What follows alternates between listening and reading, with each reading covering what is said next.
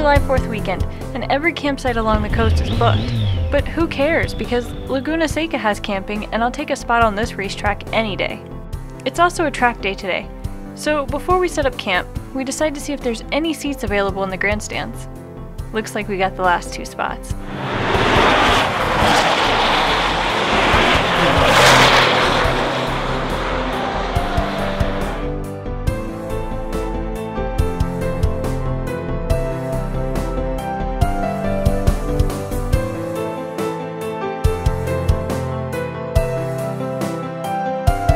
My only hope right now is that she's laughing so hard she's not noticing this Richard Simmons dance performance I appear to be putting on.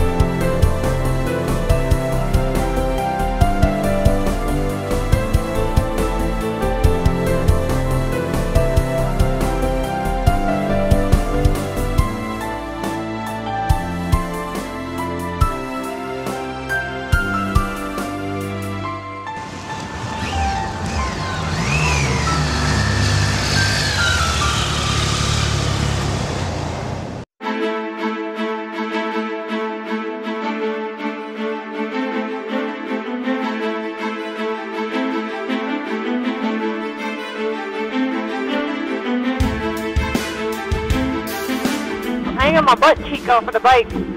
One cheek, one cheek at a time.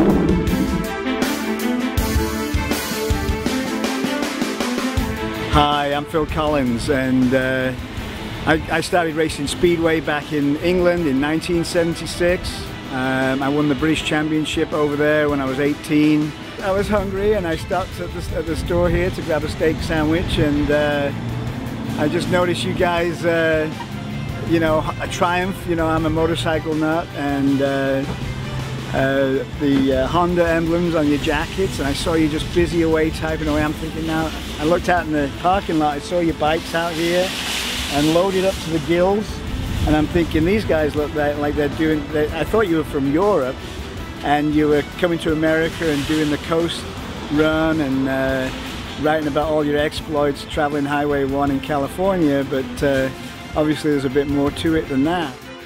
Who would have thought Phil Collins had time for all that motorcycle racing between Genesis gigs?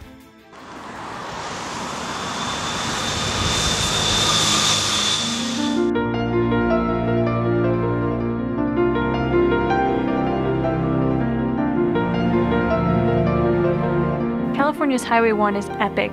People from around the world seek out this road, and I cannot imagine a single one is ever disappointed. It's a magnificent, twisty highway that goes on for hundreds of miles. Yeah, we're only averaging maybe 40 miles per hour, which is gonna make for a very long day, but I could care less. The views are breathtaking.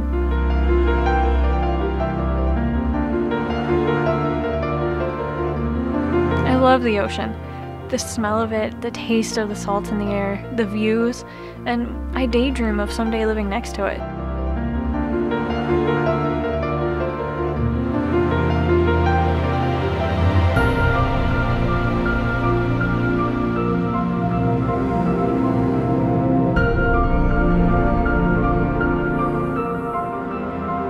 Miles later, Zach pulls over and I find myself waiting on him. Come on over here. I want to pet you. I want to hug you. Come on, Cal. Come on over. Come on over. Come on, we really have to make up some time and get to Los Angeles. If we stop trying to pet every fuzzy thing along the way, we may just make it.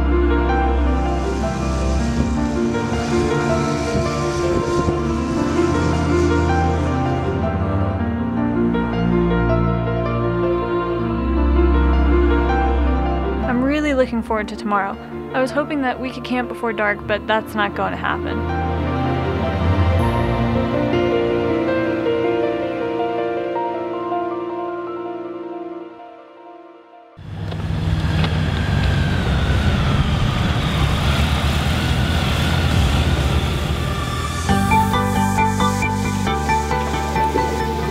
welcome you guys.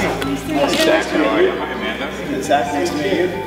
So uh, we're going to take her for a little tour. Okay. And you can wait right over here. Yeah. Oh, sweet. Let's go. See you guys in a bit.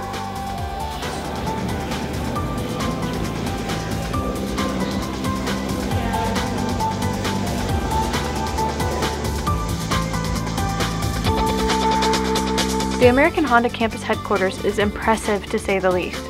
Bill Savino went over the layout of the 101 acre campus, which houses everything including corporate offices, a parts distribution center, production studios, the Honda race shop, and their R&D departments.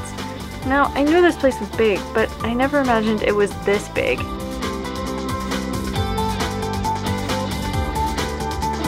This is our home.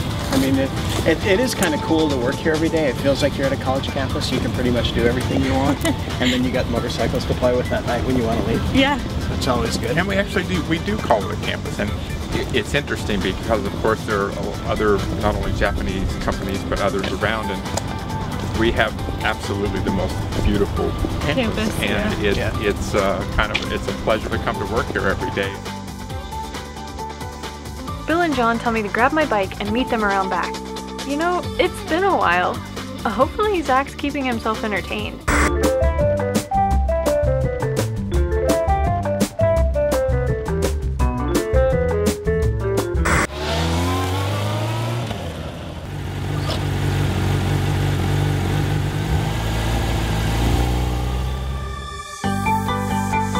my surprise, a Honda technician wheels my bike into a bay, and before I know it, he's giving it a thorough look over. He immediately notices my bent lever and sets out to replace it. Now, I usually never let anyone else work on my bike, but I think he's more than qualified. Awesome. Thank you.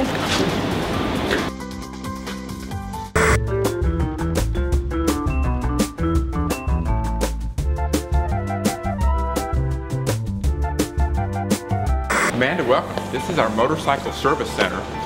It's uh, when we're in our little cubicle sitting up there and we get really bored, which is several times a day, all of us gearheads come down here and just like to look at everything and see and sit on it because we're all motorcycle nuts and that's part of it.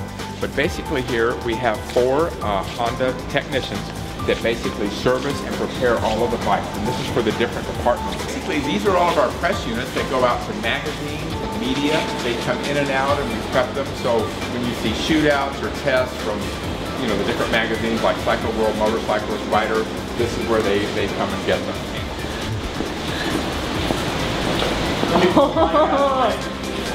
Oh, That's our, uh, that's our Moto 2. Uh, that's Yeah. our Moto 2 Roger Lee Hayden bike because they built this bike. Uh, they started on the 4th of July Right. about this time two years ago and had it ready for Indianapolis, including testing that they did at Chuckwalla.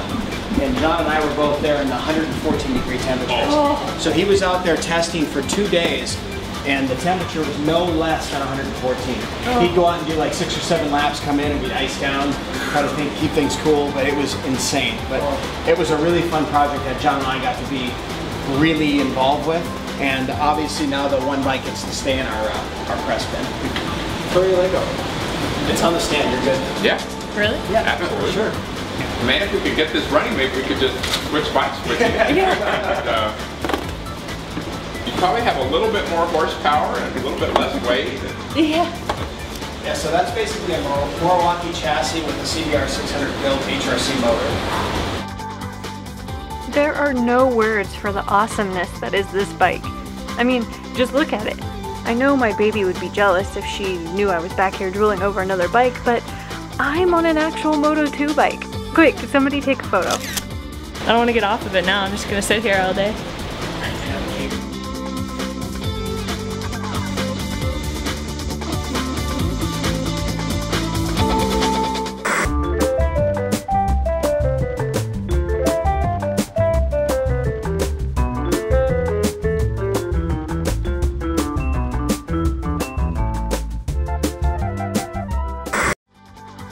I take just a few more minutes to look over the Moriwaki Moto 2 bike. But just look at me. I'm the happiest girl in the world right now. Bill and John show me one last bike that's more my size before it's time to leave. Afterwards, Zach and I take a final moment to visit the ocean before we head off, and I take the time to tell him in incredible detail about the oh so awesome tour Bill and John from Honda gave to me.